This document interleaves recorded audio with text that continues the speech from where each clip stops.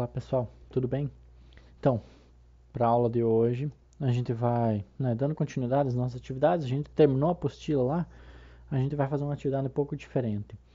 Vamos trabalhar é, duas atividades que vocês vão ter que vão precisar do computador ou do celular, tá? Elas vão ser é, utilizando o aplicativo e utilizando o software. Lembra lá que eu tinha falado da gente utilizar o Sudoku, fazer um Sudoku? Então, essa é a primeira atividade. É, a gente pode fazer isso online, tá? Tem o Sudoku online. Lembra lá que eu falei que vocês podem pesquisar e resolver ele é, no próprio computador ou no celular? Então eu vou mostrar um exemplo aqui para vocês. Eu já estava procurando aqui. Mas vocês vão pegar lá, digitar Sudoku online no, no Google e pegar qualquer um deles, tá? Tanto faz qual. Vou pegar esse daqui. Sudoku Online, ó. Apareceu um aqui. Clicar em novo jogo, ou vocês podem selecionar nível de dificuldade. Vou pegar um fácil aqui, tá? Eu sugiro vocês comecem com o fácil, se quiserem começar com outros níveis, quem já sabe, né? Então, Vou começar esse daqui. Ó, peguei um agora. Como é que a gente resolve? Ele começa a contar o tempo, tá? Ele é por tempo. Então, se a gente fosse fazer uma competição, com certeza a gente estaria contando o tempo e com certeza teria que ser o mesmo para cada um. Provavelmente, se vocês abrirem lá, vão ser diferentes os sudokus de vocês. Então, basicamente, qual é o objetivo? Completar todas as linhas e todas as colunas com os números de 1 a 9. Então, e não pode repetir também dentro desses quadrados maiores. É, vamos supor, é, como é que vocês podem olhar para tentar resolver isso aqui? É, olhem sempre três quadrados grandes de uma vez. Por quê? Porque você não pode repetir dentro do quadrado, não pode repetir dentro da linha nem da coluna. Mas para mim achar o número, eu não posso pegar e tentar lá assim, ah, vou tentar qual número aqui? Vou tentar o 9. Hum, cabe o 9. Ah, vou tentar o 5. Ah, cabe o 5 também. Se você ficar tentando assim, você não vai conseguir resolver. Então você tem que ter um jeito de olhar para esse sudoku para tentar encontrar o número direto, não ficar adivinhando. Vamos lá. Se eu fosse olhar, olhando esses três aqui, qual o número que repete aqui, repete aqui, que poderia estar nessa, nessa linha aqui embaixo? O número 1, né? O número 1 está aqui, então ele completa essa linha. O número 1 está aqui, então ele completa essa linha. E aqui embaixo a gente tem que poderia ou aqui ou aqui e o número 1. Num desses dois lugares. Então provavelmente num desses lugares vai o número 1. Aí que tá. Eu tenho certeza. Eu tenho como ter certeza em qual que ele vai? Por enquanto não, né? Porque aqui embaixo pode ir qualquer um. Então eu não tenho como ter certeza ainda. Eu vou ter que tentar em outro lugar para depois chegar aqui então. Se fosse um nível difícil, vocês provavelmente vão ter que adivinhar, ir fazendo e fazendo, depois voltar e tentar resolver. Só que esse não é um nível difícil, então a gente não resolve ele por enquanto. Vamos tentar em outro lugar. Olhando agora esses três aqui, a gente tem novamente o número 1. Número 1 aqui, então o número 1 deste quadrado aqui, ele vai ter que ir aqui no canto, né? Por quê? Porque nessa coluna tem, nessa coluna tem, então vai aqui no canto. Então, número 1 aqui no canto. E agora, facilitou alguma coisa? Para mim achar o 1, por exemplo, desse ou desse? Por enquanto não, né? Tentamos outro número. Por exemplo, olhando esses três aqui em cima de novo. Esse, esse e esse quadrado. A gente tem que nessa linha aqui vai o número 3. Nessa linha aqui o número 3. Então, obviamente, para mim completar esse quadrado aqui com os números de 1 a 9, o 3 vai aqui. Por quê? porque o 3 já vai aqui, aqui já tem 3, então nesses lugares aqui, aqui, aqui e aqui não pode ir 3. Obviamente que aqui vai ter que ser o lugar do 3. Completou o 3 ali. Beleza, para essa parte já temos os números 3. Só falta o número 3 aqui do canto, daqui e daqui. Tem como eu colocar num deles? Ainda não, né? Tenta outro. Vamos tentar, vamos supor, o número 6. O número 6 olhando esses três quadrados aqui. Quanto mais números vocês completam, mais fácil é. O número 6 já está nessa linha, então aqui não pode 6. número 6 já está nessa linha, então aqui não pode, o único lugar que sobrou é esse aqui. Então ali com certeza vai o número 6. E assim por diante vocês vão resolvendo. A partir do momento que vocês encontraram esses dois, vocês vão poder encontrar próximos. E assim vai indo. Quanto mais números vocês encontram, mais fácil indo. Tentem fazer um lá, é, tirem print do tempo que vocês levarem. Tá?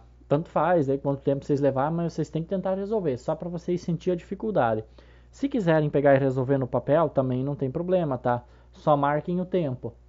Pega, vai lá, marca o tempo tenta resolver um sudoku. Nem que você pega aqui, ó, vai em novo jogo, pega e marca esse daqui mesmo. Pega, copia ele lá no papel e tenta resolver. Se acharem que é mais fácil. Beleza? Essa é a primeira atividade. Segunda atividade, a gente vai é, fazer, utilizar o GeoGebra. Já ouviram falar do GeoGebra? Vocês vão no Google, ele também é online. A gente escreve lá GeoGebra online. Escreveu GeoGebra online lá, pesquisa. Aqui vai aparecer GeoGebra clássico. Clicou em cima. Beleza. Vocês já estão agora dentro do, do site do GeoGebra. Ele pode ser instalado em celular, ele é um aplicativo, né? Aqui é online, mas ele pode ser instalado no celular. Ele pode ser instalado no computador, tanto com Linux quanto com Windows qualquer sistema operacional. Então você pega, baixa ele, instala lá no computador. Mas aqui para a gente trabalhar pode ser online mesmo, porque daí todo mundo pode fazer. Pode, ele roda no celular, no computador, em qualquer qualquer que abre páginas web, né? Então o que, que a gente vai fazer? Esse aqui é um programa que é muito útil para a gente em matemática, porque a gente consegue visualizar muitas coisas que a gente não consegue visualizar em sala de aula. Então a gente também vai utilizar ele durante as aulas é, aprendam a utilizar ele, tá? Então a atividade que a gente for fazer aqui, vocês façam. Eu vou depois, eu vou mostrar como é que a gente usa ele, o que, que ele faz, eu passo uma atividade e vocês vão fazer. Aí na aula vocês tiram dúvida, a gente vê o que, que vocês conseguiram fazer. Então aqui em cima a gente tem é, funções que ele tem. Por exemplo, criar pontos. Eu posso um novo ponto, um ponto no objeto. É, vamos criar um ponto. Ó. Cliquei aqui, ele fez um ponto A. Assim eu posso encher de pontos aqui. Depois vai aparecendo aqui do lado. Ó. Lembram lá do plano cartesiano das coordenadas? O que, que eu tenho aqui? Não é um plano cartesiano? Então aqui ó, eu tenho as coordenadas desse ponto. As coordenadas do ponto é 2,86, 2,83. Então aqui a gente tem o ponto A. O que, que eu vou fazer? Eu vou pegar, vou fazer uma reta ou uma reta perpendicular. Então ela vai passar por esse ponto e perpendicular ao eixo X. Então aqui, ó, criei uma reta. Beleza. Fiz uma reta passando por um ponto. Agora eu quero uma reta paralela ao eixo X passando por A. Eu venho aqui em cima, ó, aqui em cima todos eles aparecem várias funções. Ó, aqui tem reta paralela. Aqui tem ó, polígonos, tem circunferências, caso eu quisesse fazer um círculo, ó, eu clico em circunferência, seleciono o ponto, e vou abrindo o tamanho que eu quero. Teria minha circunferência. Aqui do lado ela aparece, eu quero que ela esconda, clico aqui em esconder, ó. Aqui em cima no canto, ó, aparece e desaparece. Mas agora a gente não quer a circunferência, né? E também não quero esse meu ponto B aqui. Então, esse não precisa. Reta perpendicular. Aqui agora eu quero uma reta paralela. Como é que eu faço? Reta paralela, clico aqui em cima, clico no meu ponto, e na reta que eu quero. Pronto, tenho aqui minha reta paralela. Agora, um conteúdo que vocês já viram ou vão ver, vai ser o de ângulos, que é o conteúdo que a gente vai trabalhar hoje. É, vocês vão ver como esse software vai ajudar bastante a gente. Vocês têm lá uma construção, então eu tenho retas perpendiculares. Essa reta aqui é perpendicular a essa, né? Quantos graus que mede cada ângulo aqui no lado dessas retas?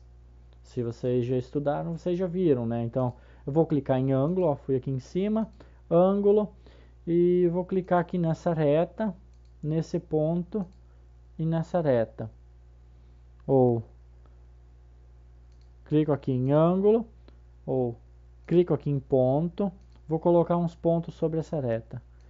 Coloquei um aqui e um aqui. Beleza. Coloquei os meus pontos sobre essas retas. Agora eu quero saber qual é o ângulo que tem aqui dentro, entre B A e C.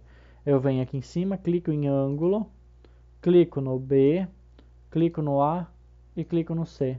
Olha só, já aparece o ângulo aqui. Tem um ângulo de 90 graus. Mas sempre funciona assim? Depende. Vamos supor que eu quisesse saber quanto que mede aqui fora, por fora. Se eu clicar em C, em A e em B, eu tenho a medida para o lado de fora. Vocês viram? Eu fui de B a B a C, eu medi por dentro. Se eu vou de C a B, eu meço por fora. Então vai aparecendo os meus ângulos. Ó. Vou apagar ele aqui. Então eu tenho que esse ângulo aqui mede 90 graus. Mas agora eu quero saber, é, posso mover esses pontos também, ó. Selecionei aqui, ó. Posso vir aqui no meu B, ó, e mover esse ponto. Vou aproximar aqui. Beleza, agora eu quero saber uma reta por dois pontos. Vou criar, ó, passando por B e por C. Agora eu quero saber nessa região quais são meus ângulos iguais. Esse ângulo aqui tem a mesma medida que esse ângulo aqui e esse ângulo tem a mesma medida que esse, como é que eu faço para saber? Medindo, né? E eu posso fazer isso com o software. Eu vou colocar uns pontos sobre essa reta porque ele mede as, uh, o ângulo de acordo com a reta, os pontos que estão sobre a reta. Então eu quero medir o ângulo aqui por dentro, eu seleciono o ponto E, C e D e meço. Como é que eu faço para medir ângulo? Lembram lá? Clico aqui em cima, vou em ângulo e mostra, ó, E, C, D. 46,75 graus. Aqui dentro mede 46,75 graus. Agora a gente quer saber se ele é igual, então vamos medir esse ângulo aqui. Vou apagar esse 46 aqui. Vamos medir de novo, clico em ângulo. Aqui, G, C, F. 46,75 graus. Mesma medida, olha só.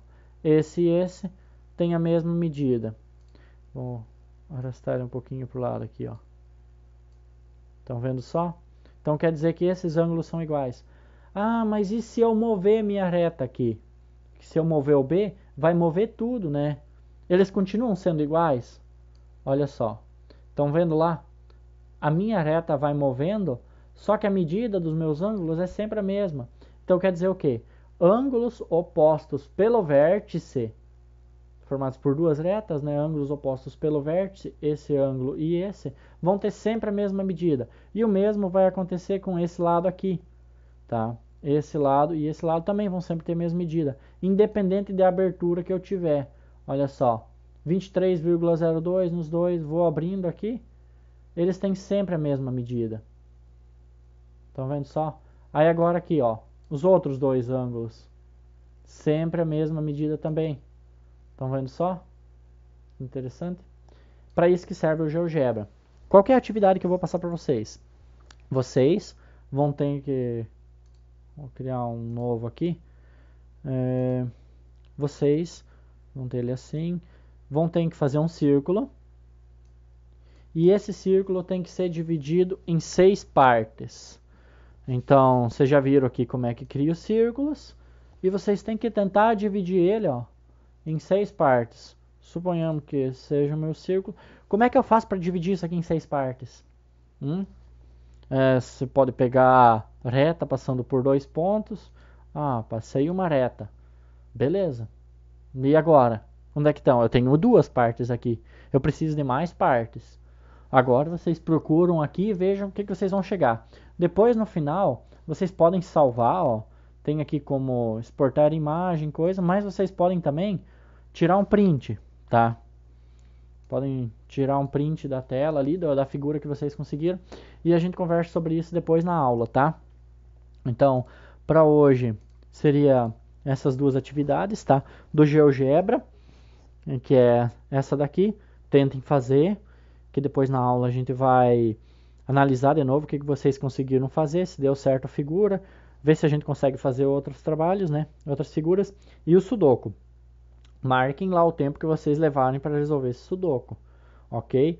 É rapidinho, talvez as primeiras vezes que vocês forem resolver não vai tão rápido, né? Mas com o tempo vocês ficam bem bons nisso. E a mesma coisa com o GeoGebra, só que o GeoGebra a gente vai trabalhando com mais tempo nas aulas também. É... Façam as duas atividades, tá? Beleza? Então, até depois na, no nosso chat. Valeu, pessoal. Falou?